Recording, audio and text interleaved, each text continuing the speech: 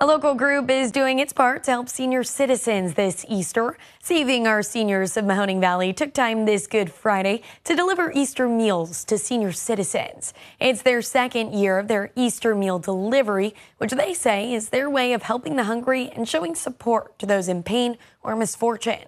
Over 260 meals were sent to the Austintown Senior Center, where volunteers set out to make the home deliveries.